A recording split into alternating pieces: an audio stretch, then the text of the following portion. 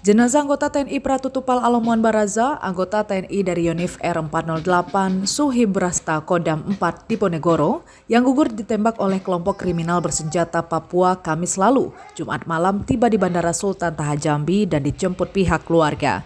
Penyambutan juga dilakukan dengan upacara militer di Bandara Sultan Taha Jambi.